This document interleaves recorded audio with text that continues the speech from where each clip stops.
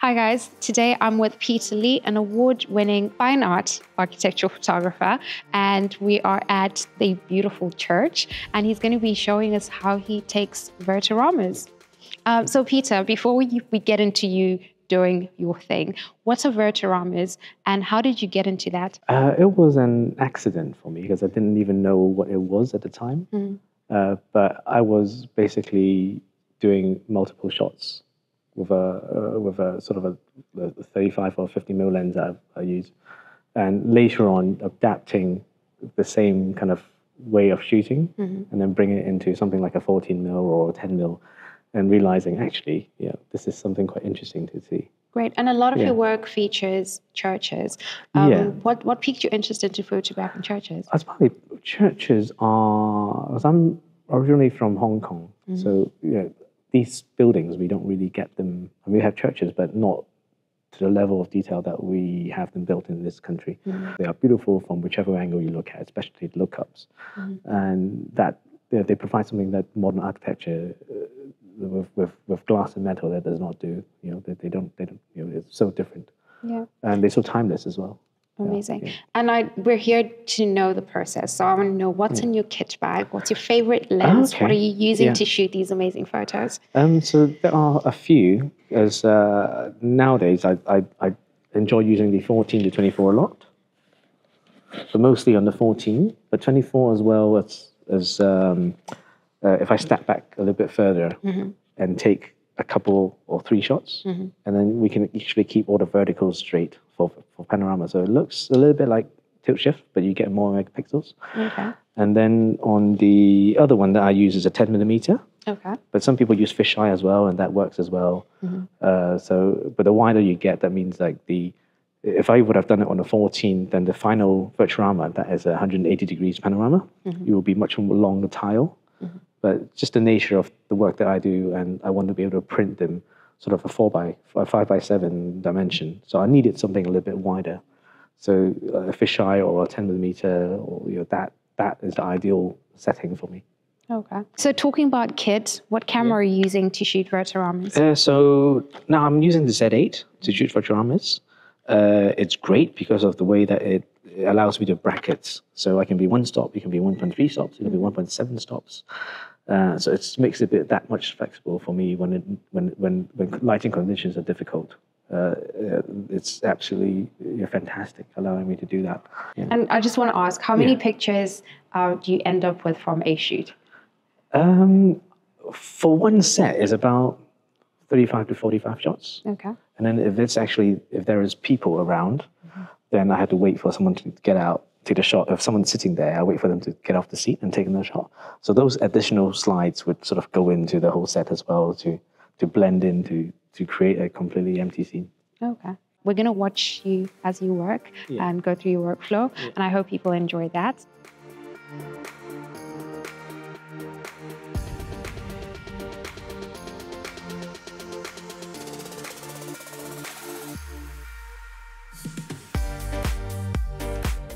And it locks it now.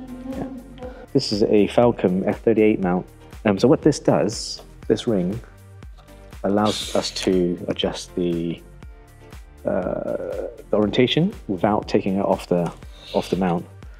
So now it allows the 180 degrees or 360 degrees motion. So that's the the core setup.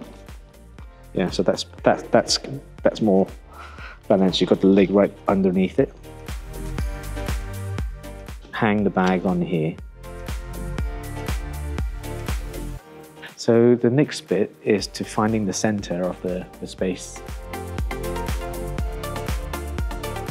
So what the, the main thing we need to do now is to find from here the center point pointing that way, but we also need to be perfectly centered looking up so that we get a we get a symmetry. So we try to align it with one of the pillars or one of the center of the arch.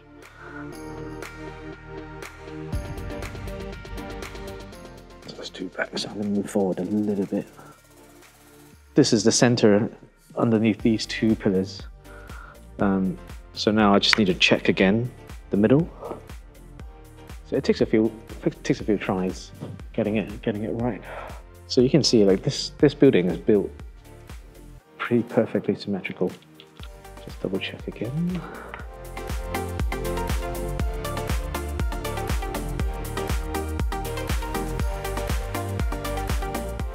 It keeps nudging, yeah.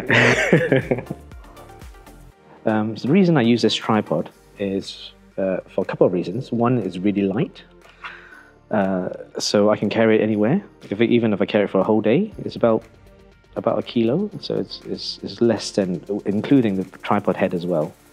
And also the second thing is it is is built in with a reverse ball head. So usually they have the spinning mount, which is on the base, but this one you can see this is on the top. So the, so it allows me to to turn the head sideways and then spin the 360. So that's that's the key for Vertoramas. You need to have a head that does that. So it's all built in into one one small tripod, which is very handy for me. Um, so I'm, I'm just getting the levels right.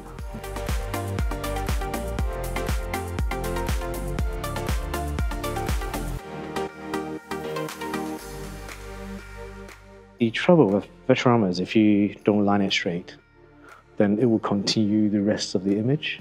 So it's just whatever your slight error is, it exaggerates for the rest of the image. So sometimes we get them tilting sideways if it wasn't lined up properly. So make sure you use the, um, the levels and also the grids to, to help you with, with, with lining up the, the image. It's flashing a little bit, but that's all right.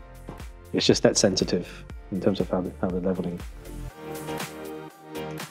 Today it's pretty cloudy outside, so that you can see the stained glass windows. You can, you know, there's no, uh, you know, there's no extreme lights, so we can do away with less bracketing.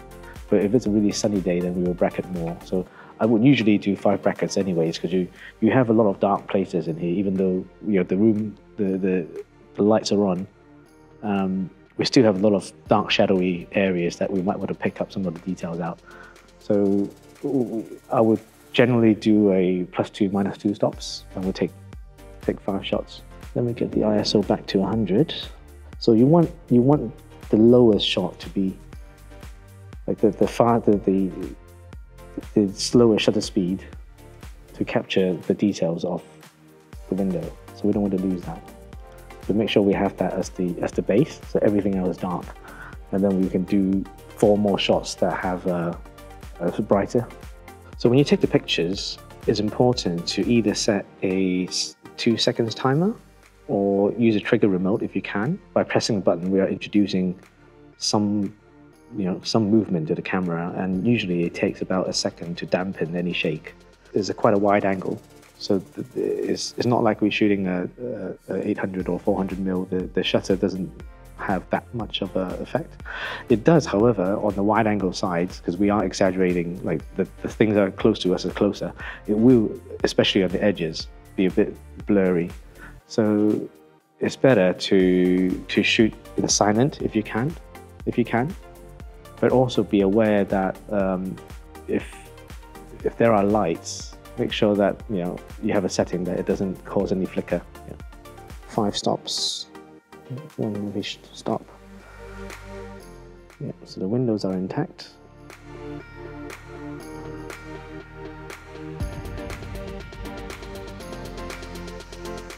Bracketing allows you to capture everything uh, from light to dark, where a single shot is not is not able to capture. So by putting it all together, you're able to to have everything from the darkest areas under the chairs and also everything on the window as well.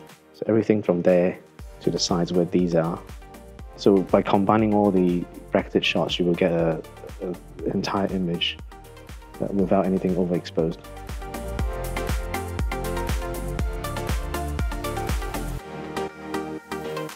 Each set we want to overlap by about a third, so that when we put it in the software, they recognize which, which part goes with what.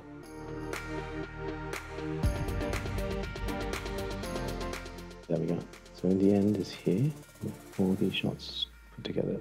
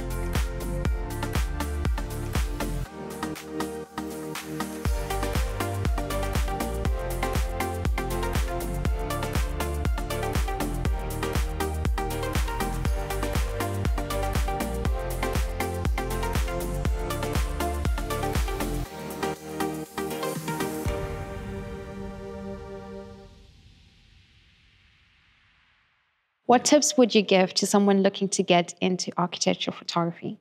Be more aware of the lighting, mm-hmm. how well, how it presents itself, because they every bit of light that goes on to the surfaces actually draws your eyes in.